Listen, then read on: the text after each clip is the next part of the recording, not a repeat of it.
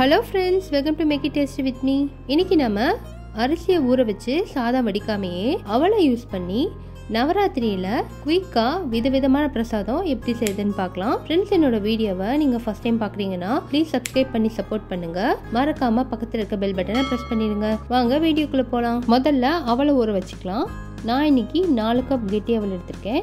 இதை முதல்ல ரெண்டு தடவை கழுவிட்டு வந்துடலாம். நீங்கள் இலவில் எடுத்தீங்கன்னா அதை நல்லா கழுவிட்டு ஒரு ஸ்ட்ரெயினரில் போட்டு வச்சுருங்க. அதுலேயே அது நல்லா ஊறிடும். அவளை கழுவிட்டு வந்துட்டேன். நாலு கப் அவளுக்கு ஒரு டீஸ்பூன் உப்பு சேர்த்துருக்கேன். இப்போ இதில் அவள் முழுகிற வரைக்கும் தண்ணியை ஊற்றி இருபதுலேருந்து முப்பது நிமிஷம் அவளை ஊற வச்சுக்கலாம். நம்ம அழுத்துனா தண்ணி இது போல் மேலே வரணும். அந்தளவுக்கு தண்ணி இருக்கிற மாதிரி பார்த்துக்கோங்க. அப்போ தான் அவள் நல்லா சாஃப்டாக இருக்கும். இல்லைன்னா சரியாக ஊறாமல் ரப்பர் மாதிரி இருக்கும். அவள் ஊறிடுச்சுனாலே நமக்கு பாதி வேலை முடிஞ்ச மாதிரி. அதை நம்ம தாளிப்போட கலந்துட்டாலே குயிக்காக பிரசாதம் ரெடி ஆகிடும் முதல்ல தேங்காய் செய்கிறதுக்கு ஒரு கடாயில் ஒரு டேபிள் ஸ்பூன் கடலெண்ணெய் சேர்த்துக்கலாம். நீங்கள் கடலெண்ணெய்க்கு பதிலாக தேங்காய் எண்ணெய் சேர்த்தாலும் டேஸ்ட் ரொம்ப நல்லாயிருக்கும். கூடவே ஒரு கால் டேபிள் ஸ்பூன் நெய்யை சேர்த்துக்கலாம். எண்ணெய் காஞ்சதும் அதில் அரை டீஸ்பூன் கடுகு. கடுகு பொரிஞ்சதும் ஒரு டீஸ்பூன் உளுத்தம்பருப்பு ஒரு டீஸ்பூன் கடலைப்பருப்பு சேர்த்துக்கலாம். உளுத்தப்பருப்பும் கடலைப்பருப்பும் லேசாக நிறம் இப்போ இதில் அஞ்சாறு முந்திரி பருப்பை உடச்சி வச்சுருக்கேன். அதையும் சேர்த்துக்கிறேன். முந்திரி செவந்ததும் அரைஞ்சி இஞ்சியை பொடியை நறுக்கி வச்சுருக்கேன். அதை சேர்த்துக்கலாம். இஞ்சியோட பச்சை வாசனை போனதும் நம்ம காரத்துக்கு தகுந்த மாதிரி பச்சை மிளகாய் வரமிளகாவும் சேர்த்து நல்லா வதக்கி விட்டுக்கலாம் மிளகாய் பொரிஞ்சதும் ஒரு கொத்து கருவேப்பிலையை சேர்த்துக்கலாம். இப்போ இது கூடவே தேங்காய்க்கு தேவையான அளவு உப்பு சேர்த்துடலாம். நான் இன்றைக்கி அரை டீஸ்பூன் உப்பு சேர்த்துருக்கேன். உப்பை சேர்த்து நல்லா கலந்து விட்டுட்டு அரை கப் துருவின தேங்காய் சேர்த்துக்கலாம். நம்ம எந்த கப்பில் அவள் அளந்தோமோ அதில் பாதி அளவு இல்லைன்னா முக்கால் பங்கு தேங்காய் சேர்த்தா ரொம்ப டேஸ்ட்டாக இருக்கும். தேங்காவோட பச்சை வாசனை போகிற வரைக்கும் வதக்கி விட்டுடலாம். இப்போ இதில் ஊற வச்ச ஒரு கப் அவளை சேர்த்துடலாம். அவளை சேர்த்து நல்லா கலந்து விட்டுட்டு ஒரு கால் டீஸ்பூன் நெய் சேர்த்துக்கலாம். கால் டீஸ்பூன் நெய் பொடியாக நறுக்கின கொத்தமல்லி தலையை சேர்த்து நம்ம கலந்து விட்டுட்டோன்னா சுவையான தேங்காய் அவல் ரெடி ஆயிடுச்சு. அடுத்ததாக லெமன் அவல் செய்கிறதுக்கு ஒரு கடாயில் ஒரு டேபிள் ஸ்பூன் நல்லெண்ணெய் சேர்த்துக்கலாம். எண்ணெய் காய்ச்சதும் அரை டீஸ்பூன் கடுகு கடுகு பொரிய ஆரம்பித்ததும் ஒரு டீஸ்பூன் உளுத்தம்பருப்பு ஒரு டீஸ்பூன் கடலைப்பருப்பு சேர்த்துக்கலாம். கூடவே ஒரு டேபிள் ஸ்பூன் வேர்க்கடலை சேர்த்துக்கலாம். வேர்க்கடலையை நம்ம முதல்லையே சேர்த்தா தான் அது நல்லா வறுபடும். வேர்க்கடலை உளுத்தம்பருப்பு கடலைப்பருப்புலாம் நல்லா செவந்துருச்சு. இப்போ இதில் நம்ம காரத்துக்கு தகுந்த மாதிரி பச்சை மிளகாவும் வரமிளகாவும் சேர்த்துக்கலாம். மிளகா பொரிஞ்சதும் அரை துண்டு இஞ்சியை பொடியை நறுக்கி வச்சுருக்கேன். அதையும் சேர்த்து இஞ்சியோட பச்சை வாசனை போகிற வரைக்கும் வதக்கி விட்டுடலாம். இஞ்சியோட பச்சை வாசனை போனதும் ஒரு கத்து கருவேப்பிலை சேர்த்துக்கலாம். இப்போ இதில் தேவையான உப்பு நான் அரை டீஸ்பூன் உப்பு சேர்த்துருக்கேன்.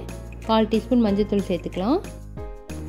எண்ணெயிலேயே மஞ்சத்தூளையும் உப்பையும் ஒரு செகண்ட் நல்லா வதக்கி விட்டுடலாம். மஞ்சத்தூளோட பச்சை வாசனை போனதும் ஒரு மீடியம் சைஸ் எலுமிச்சம்பழத்தோட சாறை எடுத்து வச்சுருக்கேன்.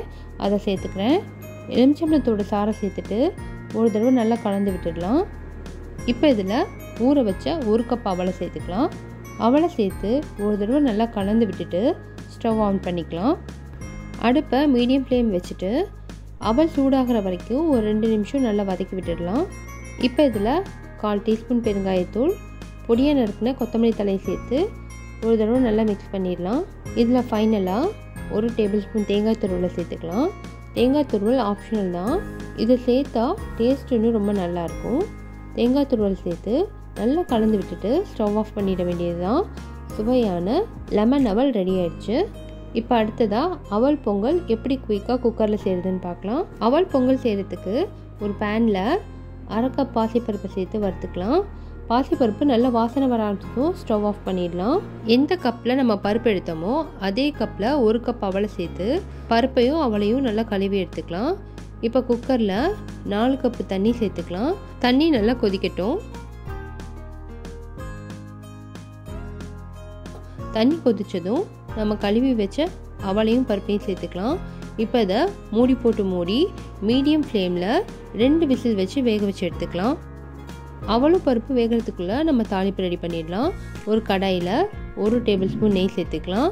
அதில் பத்து உடச்ச முந்திரி சேர்த்து முந்திரி சவக்கிற வரைக்கும் வறுத்துக்கலாம். முந்திரி சவந்ததும் ஸ்டவ் ஆஃப் பண்ணிவிட்டு ஒரு ஏழு எட்டு திராட்சை பழத்தை சேர்த்து திராட்சை பழம் பொன்னிறமாக ஆனதும் அதை எடுத்து தனியாக வச்சிடலாம். பாருங்கள் ரெண்டு விசில் வந்து பருப்பும் அவளும் நல்லா வெந்து குழஞ்சிருக்கு. இப்போ இதை ஒரு தடவை நல்லா கலந்து விட்டுட்டு இதில் ஒன்றே கால் கப்லேருந்து ஒன்றரை கப் வரைக்கும் வெள்ளத்தை சேர்த்துக்கலாம். வெள்ளத்தை சேர்த்து நல்லா கலந்து விட்டுட்டு ஸ்டவ் ஆன் பண்ணிக்கலாம். வெள்ளம் நல்லா கரையட்டும். இப்போ வெள்ளம் கரைஞ்சி எல்லாம் நல்லா ஒன்றா திரண்டு வந்திருக்கு. இதில் அரை டீஸ்பூன் ஏலக்காய் தூள். நம்ம வறுத்து வச்ச வெந்தரியும் திராட்சையும் சேர்த்துக்கலாம்.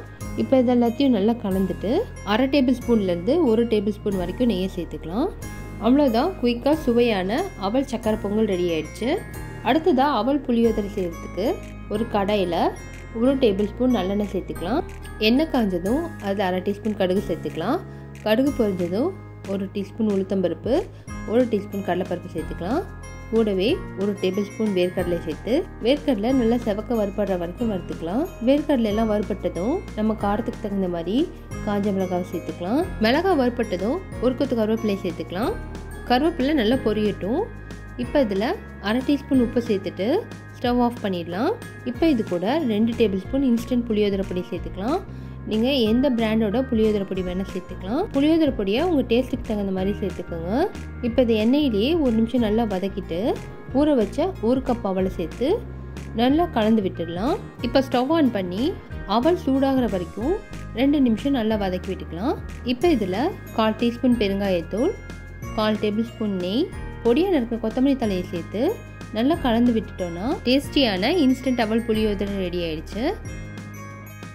அடுத்தது தயிர் அவல் செய்கிறதுக்கு முதல்ல தாளிப்பை ரெடி பண்ணிக்கலாம்.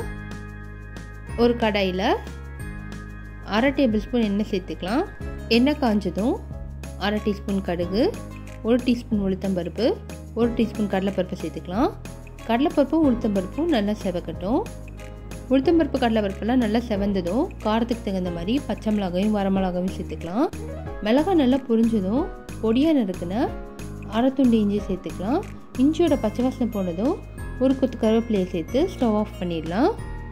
இப்போது ஊற வச்ச ஒரு கப் அவலில் காய்ச்சி ஆற வச்ச அரை கப் பால் ஒரு கப் தயிரை சேர்த்துக்கலாம். கூடவே நம்ம ரெடி பண்ண தாளிப்பை சேர்த்து நல்லா கலந்து விட்டுடலாம். இப்போ இதில் தேவையான அளவு உப்பு பொடியாக நறுக்கின கொத்தமல்லி தலை ரெண்டு டேபிள் ஸ்பூன் மாதுளம்பழத்தை சேர்த்து நல்லா கலந்து விட்டுட்டோன்னா சுவையான தயிர் அவல் ரெடி ஆயிடுச்சு. அவ்வளோதான் ஃப்ரெண்ட்ஸ் குயிக்காக அவளை யூஸ் பண்ணி அஞ்சு வகையான பிரசாதம் ரெடி பண்ணிட்டோம். இந்த நவராத்திரியில் நீங்களும் இது போல் ஈஸியாக குயிக்காக பிரசாதம் செஞ்சு அசத்துங்க. ஃப்ரெண்ட்ஸ் இந்த ரெசிபிஸ் உங்களுக்கு பிடிச்சிருந்ததுன்னா கண்டிப்பாக லைக் பண்ணுங்கள் கமெண்ட் பண்ணுங்கள் மறக்காமல் உங்கள் ஃப்ரெண்ட்ஸ் அண்ட் ஃபேமிலிக்கும் ஷேர் பண்ணுங்கள் ப்ளீஸ் லைக் பண்ணுங்கள் ஷேர் பண்ணுங்கள் மறக்காமல் சப்ஸ்கிரைப் பண்ணி பெல் பட்டனை அடிச்சிடுங்க தேங்க்ஸ் ஃபார் வாட்சிங்